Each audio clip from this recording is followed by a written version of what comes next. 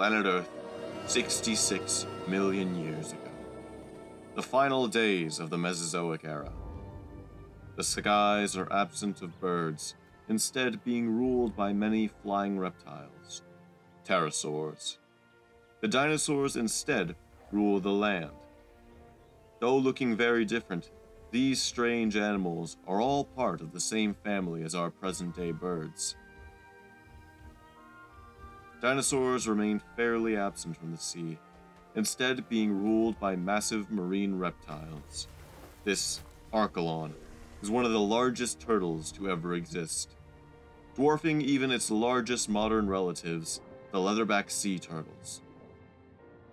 Like modern turtles, they are cold blooded and must come to the shore to bask in the sun, keeping their body regulated. This cold blooded adaptation allows for the animals to go much longer without food, while also making them more resistant to extreme temperatures. Other marine reptiles, like this elasmosaur, are warm blooded, however, allowing them to spend all their time in the open ocean, never needing to come ashore to regulate their temperatures. Strangely enough, even the ancestors of modern day lizards, the mosasaurs, are also endothermic, allowing them to rule the open oceans.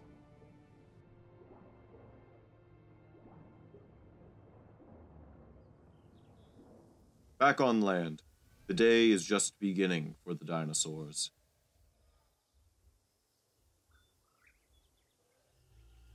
Triceratops is one of the most well adapted dinosaurs of all time.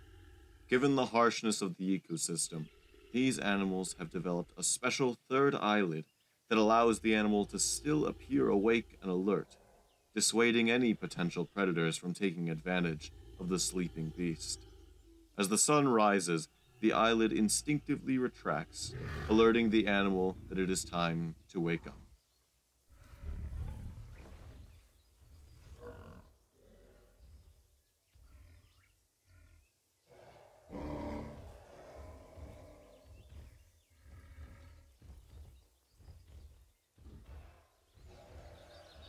Triceratops are herd animals, traveling in large groups to ensure the safety and survival of the animals.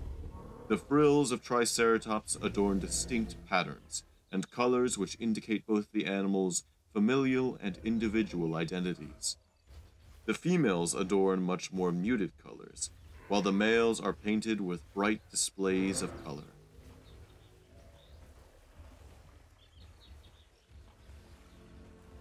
But Triceratops isn't the only armored herbivore in this forest. An ankylosaur.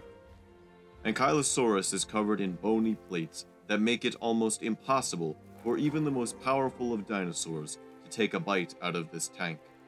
The tail sports a club that can be used to fend off predators or to attract a mate. Unlike Triceratops, Ankylosaurus are solitary and reclusive animals. It could be years before a suitable mate is found. At this point in the Cretaceous, the skies are mostly dominated by Azhdarchid pterosaurs, animals the size of small modern planes, capable of flight and mainly preying on small and weak dinosaurs, most typically juveniles of the various dinosaurs that walk the earth. Powerful predators like this Navajo Draco are crucial to maintaining equilibrium in the prehistoric ecosystem. During the time of the dinosaurs, sauropods make the ground tremble. At over 100 feet in length and weighing 50 tons, these Alamosauruses dwarf all modern terrestrial animals. They often move in herds, constantly searching for food that can sustain such large animals.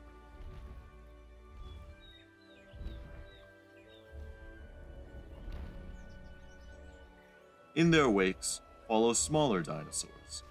These Pachycephalosauruses find safety in the shadows of these giants.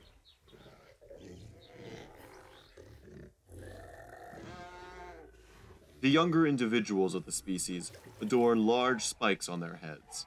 The spikier the head, the younger the animal. Like many herbivores, safety is created in numbers. One of the youngest members of the herd seems to have wandered off.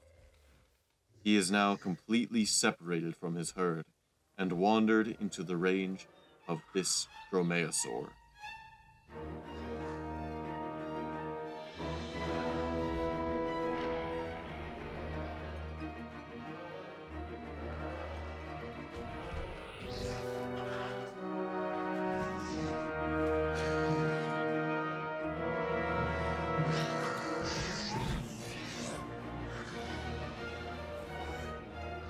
Even at such a young age, the Pachycephalosaurus is still capable of using its bony head to defend itself.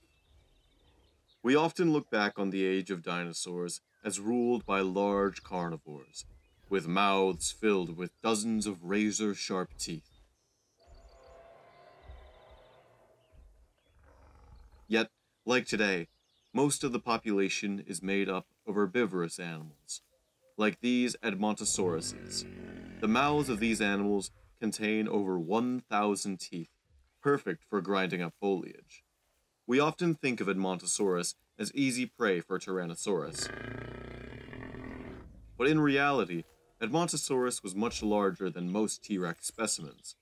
It is theorized that the size of North American herbivores like Edmontosaurus are what influenced the Tyrannosaurus rex to grow to such large sizes as older tyrannosaurs are dwarfed by T Rex. Edmontosaurus itself measured to around 40 feet long and weighed an approximate 7 tons. As in all life, even the mightiest of animals inevitably meet their end. The remains of one Alamosaurus have kept this T Rex couple fed for weeks. As the remains begin to diminish, the predators need to start to consider expanding their territory. As most apex predators are, T Rex was extremely territorial, with individual territory ranges reaching up to 40 square miles in area. Tyrannosaurus rex had the largest eyeballs of any land animal, with each being about the size of an orange. It is likely that they could see into the ultraviolet range of light, granting them some of the best night vision this planet has ever seen. CT scans of Tyrannosaurus's brain indicate that it had a superb sense of smell, being able to detect prey from several miles away. A keen sense of smell allows for the detection of any rivals or potential threats. This breeding pair is at a much higher risk than usual, with the larger female needing to ingest almost 50% more food than before her pregnancy. The pair's territory will need to expand,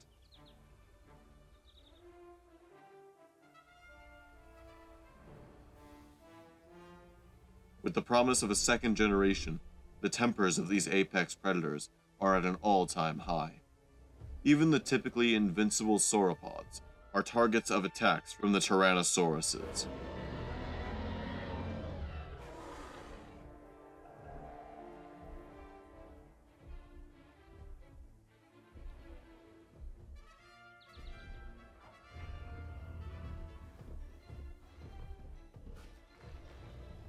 The Rexes kill more and move in on Alamosaur graveyards, smaller predators start to get bolder and creep in on the Tyrannosaurus territory. The couple will have to defend themselves over the course of the next two weeks, where they will continue to eat, sleep, and mate until a clutch of 12 eggs are laid.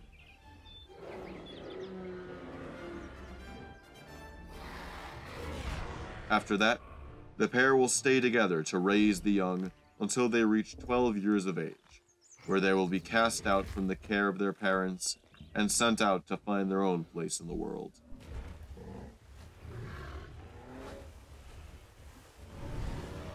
Companionship is not exclusive to breeding pairs. Beyond the territory of the pregnant couple, another pair of Tyrannosaurus makes itself known. These two males have no familial bond, yet they still travel together. Homosexual couples like this often take up parental roles to eggs that are left orphaned. But for now, These two kings simply wander the earth, fulfilled by each other's company.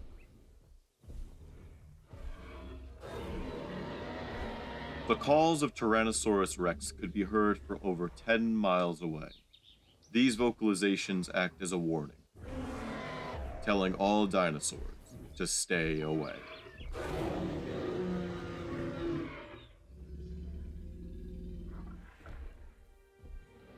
On a very special occasion, all the ankylosauruses within a 20 mile radius return to this swamp. Here is the one opportunity for these animals to show off to potential mates and restart the cycle of life for their species. The colorful skin along their bony armor creates a magnificent display of color, showing off the animal's good genes, while the clubs at the end of their tail shows off their strength and survivability. The breeding grounds aren't the only places in North America popping with color. The great inland sea that flows through the modern day Midwest comes to life as millions of fish leave the safety of the corals.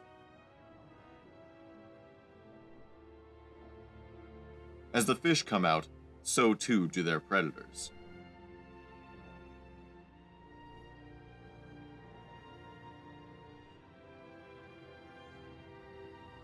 With the sun at its peak, the chilling waters of the early morning can finally be escaped by the cold blooded Archelon. Temperatures are consistently in the low to mid 20s centigrade, while the waters can reach temperatures of minus 10 on particularly cold nights. As soon as the sun reaches its peak, the turtles take to the nearest landmass, be it a small island or the coastlines of North America.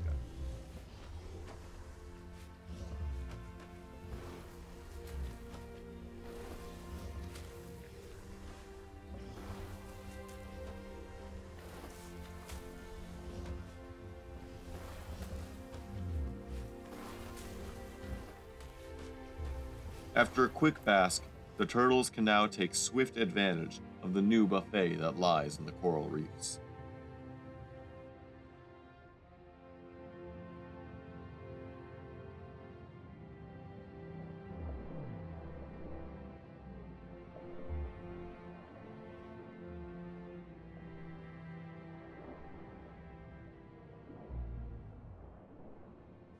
With Archelon moving into the corals, the elasmosaurs quickly retreat back into the open ocean.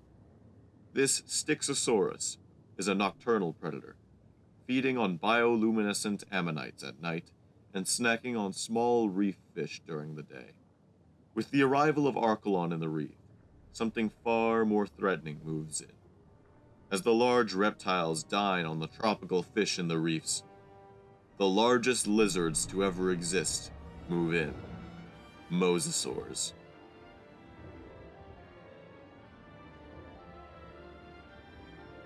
Mosasaurs can reach lengths of over 60 feet. They are the apex predators of the Cretaceous oceans. With a bite force rivaling that of Tyrannosaurus rex, these animals are the undisputed rulers of the open oceans in the late Cretaceous. They typically feed on Archelon, and are more than willing to take a bite out of the local elasmosaur population. Or, better yet, wandering dinosaurs who venture too close to the coast.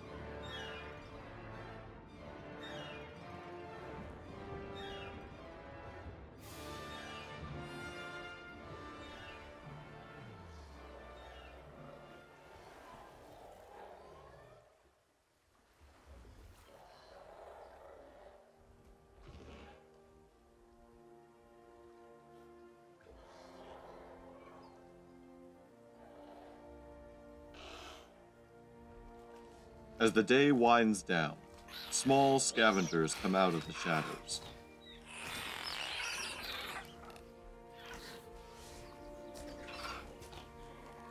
These troodontids can travel in groups of up to 20 individuals and can clean a hadrosaur carcass in just under an hour. They need to feed quickly, for these remains belong to a much more capable and imposing animal. These troodontids are nothing but a small nuisance to the might of Tyrannosaurus rex. A single T Rex needs to eat 20 kilograms of meat every day. That's the equivalent to one whole cow's worth of beef every two weeks. The troodontids only need two pounds, and pestering the king of the dinosaurs is never worth the scraps of meat. As most couples do, these Tyrannosauruses eat together, ensuring that they are never left vulnerable to attack from potential rivals.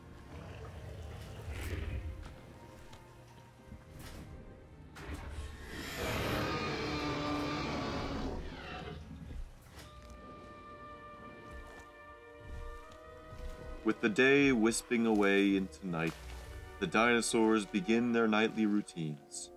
The sauropods eat as they always do, filling their bellies with enough vegetation to keep them sustained long enough to get a full night's rest. The breeding pair of Tyrannosaurus wanders deep into the forest for privacy while they mate.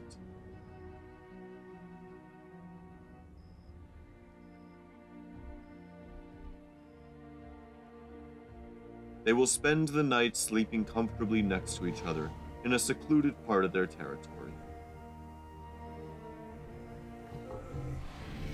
The mighty Triceratops shall return to its herd, where he will continue to survive with his remarkable adaptations.